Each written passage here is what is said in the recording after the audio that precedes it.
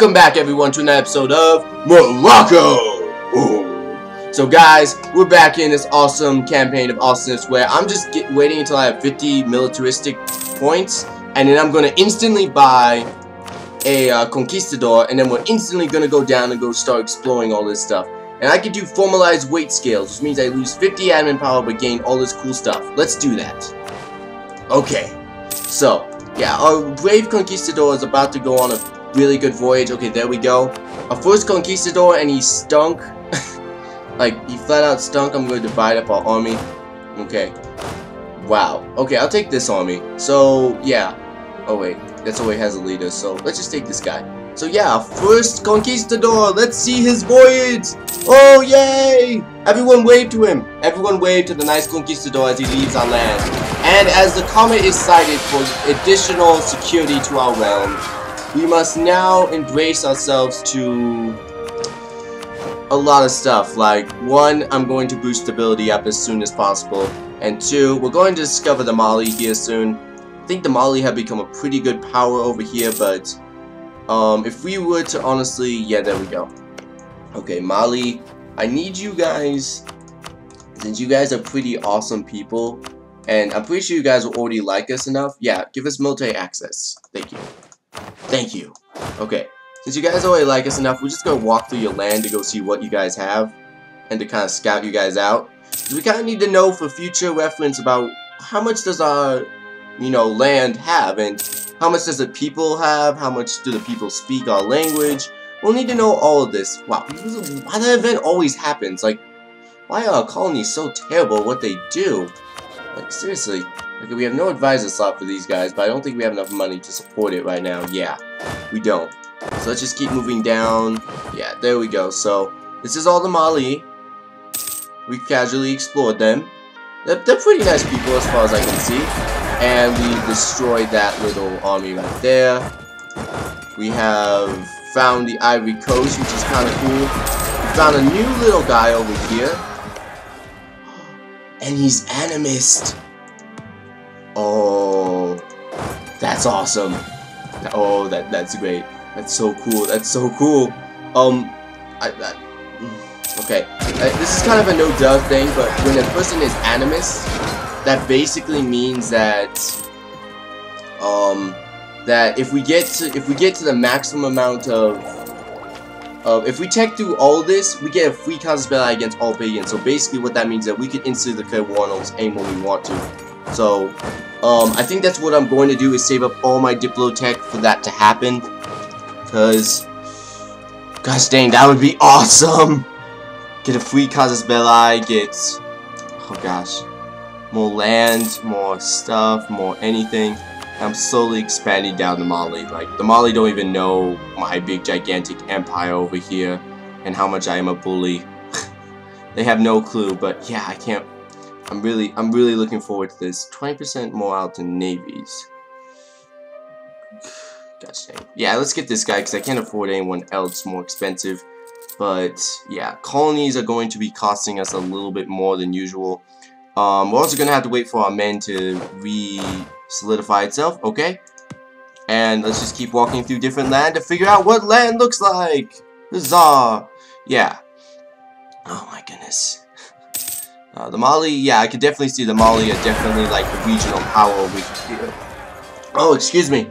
Native assimilation! Yes, I love that event. Okay, but yeah, the Mali are the local powers over here. Um, we discovered an agent, that's not good, and our army is just casually fighting through many, many, uh, unacquired land, and there's some more. Oh, we met the Benin people, Benin people, and they are also, ooh, animist. I love animist probably the best. And there's another person over there. Let's go find out what they are. Ooh. Oh. Don't die, by the way, people. Yeah, there we go. Oyo! Oh, they're also animus. Oh gosh, this would be a perfect place to go invade. Okay, let's just keep going. Discover. Let's just discover all of our neighbors. And I found more slaves. Still not something I'm going to applaud. I mean, seriously, it's terrible when you discover slaves. Seriously, it is.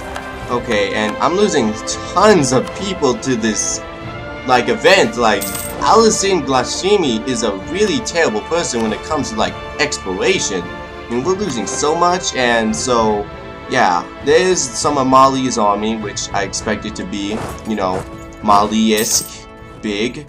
So, yeah, this is this is where this is where I think I'm gonna lead this campaign is going into this region of Africa Uh, because I think I ultimately want to create an, a united African nation, or probably a bigger nation than what has ever existed in today's modern or any time in the world. And these guys are animist. Oh, okay, I really... Oh, and these guys are animist too! Oh, sweet. And there's a capital! And I think they also own this too, from what I remember from other YouTubers. So, yeah. Oh, oh, this is all juicy land. This is this is all good. This is all good. Learning all this information now. So, uh, wait. National epic. What our subjects have taken to telling tales and legends about Abu Salahim III of Matalind. The legend says that in Morocco's darkest hour, he will return to our nation and deliver it from evil, regardless of the truth in the statements. We come to use this in our own propaganda, man. I don't know why I went to like hippie terms, but so Ottoman the Third.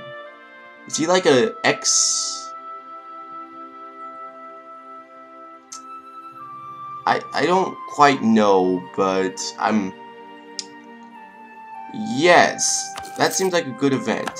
So yes, okay, yes. I guess I'll go with yes. So, yeah.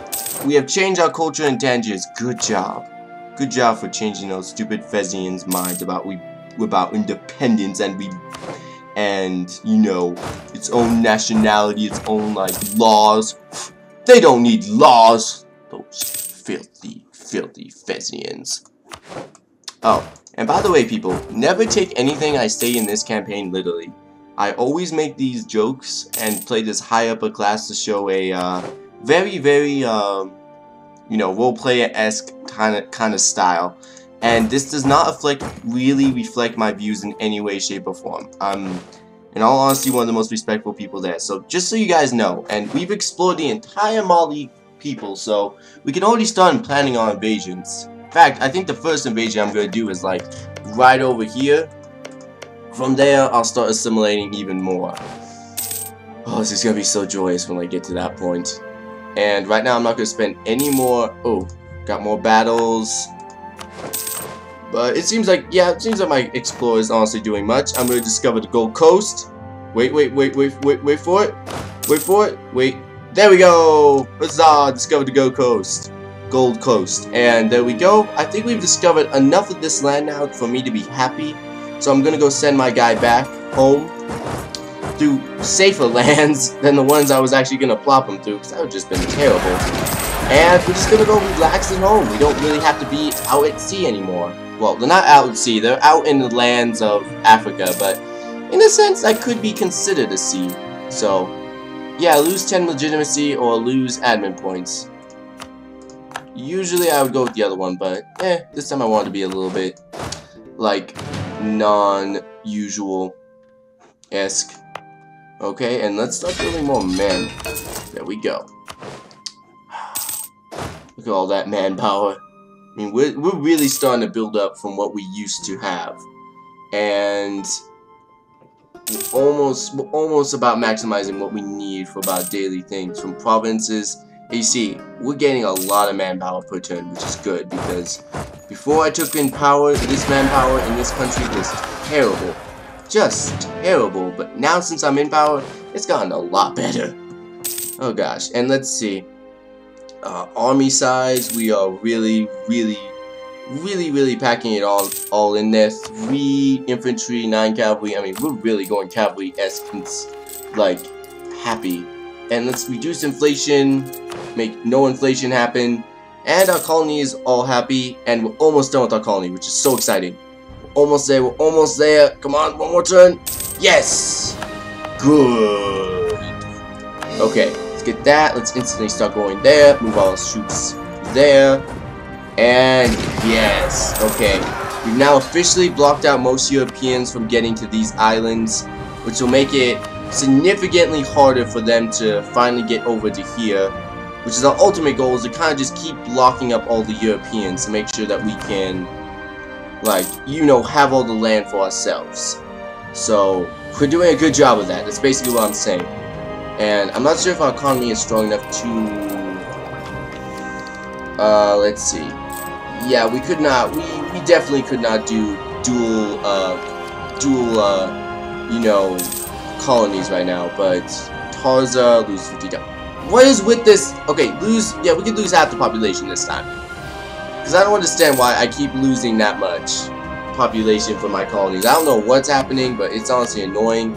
And I'm finally going to boost my stability up to 1. Because I think 1 is about what you should be in about a in a battle campaign. You don't need to be at 3 or 4 unless you really, I mean 3 or 2 unless you really want to. But 1 is about good. You need to be at least in positive just in case if you have those random events like the Comet the most awesome event ever. It should be like the best event ever because you're learning about the explorations of the stars and how a little meteorite, well not really meteorite, a little crystallized ball travels through the stars. But no, instead people get panicked and we usually have to go through like uh i don't know, like a round of like, oh yeah, it's fine everyone, don't worry. And Barbary Pirates, our naval force limit has increased Holy shoot, our naval force limit has increased. Uh, does that mean we should go for it? Uh, let's finish up with our quest for uh, new soldiers, and then we can start the quest for new new boats. But yeah, I oh yeah, I completely forgot to look at all the like. Uh, well, actually, I did. That's a lie. That's a lie. I did look at all the national ideas that my country has I first looked at this nation. But I wasn't really like in depthly looking at it. So yeah, we're supposed to be a really major, like, global, like, uh, Navy power, which I will become, don't worry. I'm actually legitimately thinking about my Navy in the back of my mind. Uh, most, unlike most campaigns where I'm just kind of like, eh, Navy. It's a good thing to have at some points in your, in your game. No, I'm legitimately thinking about it because if I could, if I could control all the land I have, I could like keep Castile, Aragon, Portugal all at bay, and then eventually go in and go conquer them. Okay, and let's see. How much would it take for you guys to become my vassal? I know this is I know this is very sudden, but how much would it take? Would you guys even accept it? Uh, let's see. Uh, of vassalization. Hmm. let's see. Are we even? Let me see. Let's review my own country. Yeah, I already have way too many diplomatic relationships as it is. Um, we could probably fix that by canceling our military access with the Mali. In fact, that's what I'm going to do. So, uh, Mali, we're going to cancel military access. And then over here, how are you guys doing with the whole integration process? Eh, you guys are pretty fine. But I wish you guys would be a little bit higher than that. Um, you guys basically love me though, but we're gonna have to really figure out how to increase you guys. Maybe send you guys a gift. I mean, everyone loves gifts, I assume. Okay, that, that, no. That was really kind of weird. Sorry about that. We'll do that again, and let's move all of our men downward. I coring this, by the way? Yes, I am. Good. We want instant core everything, and oh, look at that. Look at that. And soon we will own all of the northern African coastline. I mean, we, we're gonna own all of this, but eventually we're gonna own everything. And it seems like um, the Ottomans are setting up themselves up with a big, gigantic war with each other. These two are gonna go at it like crazy once the time comes. And eventually then I'm going to have to decide who I like the best, who is really my family. But right now we can just enjoy the fact that they aren't at war with each other just enjoy the fact that we're just kind of gonna relax, kind of chip, chap, cheerio, and not really deal with them. Ah. Okay, but in the meantime, though, we do have to kind of think of ways to uh, increase this. So let's see, 10 diplomatic points. Uh, 25, that's fine me. Ah, but I don't think I could start conversion yet. I think I need at least 90. Is that true? Annex. I can't do it until 1501, but so close. Oh, gosh dang it. we just need to, like, get 10 more.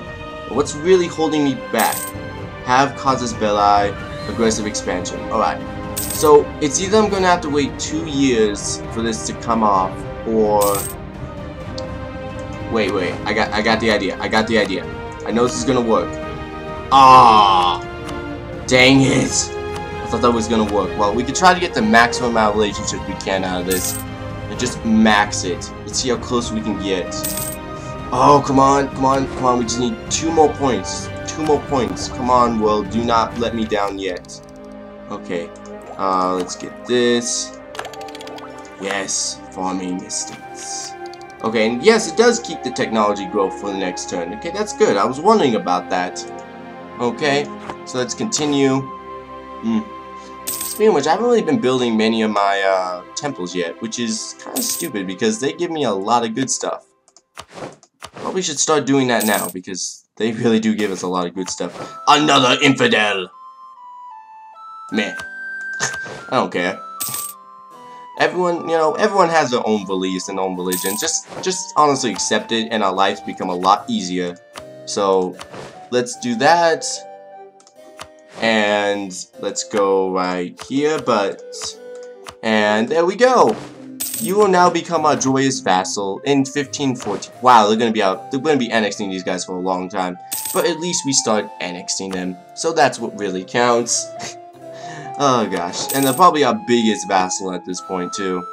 All right, and let's start building some stuff. I'm finally gonna build a temple. All right, where's the highest base tax that would really help us out?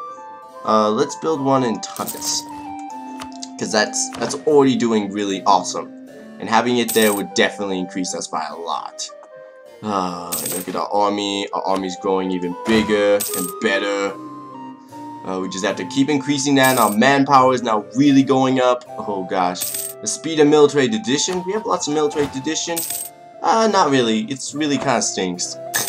We're not a very traditionalized country. Not at all. We, we kind of hate tradition in a sense, I guess. That kind of stinks. Because that would seriously help us out on a lot of things. Alright. Uh, you have advisor slots. Eh. I don't really need him. I mean, it'd be just nice to have one, but I don't necessarily need him. Native Uprising again. Of course. Of course. Alright, get some more units out. Let's pump some more units. Let's get some more, like one more man and get another cavalry unit. Okay, and then we'll group them up. That's 15 soldiers in total. Yeah, we're making we're making good money. Like good, good money. Okay, and then from there, I think if I can, I think I'm gonna try to reach Sierra Leone. Because I think that's gonna be the next crucial place, and then just keep colonizing from there. Current heir Ottoman dies. No! No! What? Why? What did he ever do to you? Oh. Oh, shoot. Oh. Wait a minute. Oh, wait, this is the good guy. I wanted... Wait, what? Oh shoot, wait, this is the good one. The one I was thinking of that could help us like westernize. What am I talking about? This guy's great. Like this guy's great for government. I'm not no, no, never mind. This isn't an oh no moment. This is like an oh yay moment. The king is dead. In come the king is dead. We're so happy the king is dead. In come the evil king is dead. He did a lot of wars for us and expended our wealth from here to here. And that's enough of the king dead song. Because I, I don't I don't think anyone knows the lyrics yet, so yeah, we're just gonna stop singing it. So yeah, let's build another one right here in our capital. Oh my gosh. this is so awesome. Okay, now let's combine these two guys. Combine these two. Encountered of the Encomienda system. Especially lose 5 aggressiveness goods produced. That's good. Okay. So let's go right here. These guys are casually becoming part of us. Income system, good. Okay, get them onto our land. Uh, good. Yeah, you guys are all, don't worry, you guys are all integrating pretty quickly. Uh, let's see, we have our next tech, military tech. Large bronze cannons! I don't think I have to do anything for that yet because we just got it. So, that means that we should probably produce like maybe one or two cannons, not very many, but it's now definitely a four par that we should start thinking about them. Okay, I think I probably will get this guy right here, reinforcement speed or national modifier. I think we do need at least one of them in there, because they're honestly very important people, like really important. And oh, my goodness, this is going really quick. Like, wow, time is just flying by, and the music currently playing, guys, is the snow is coming. So with that kind of lovely image, I want to thank you guys for watching, and see you guys next time.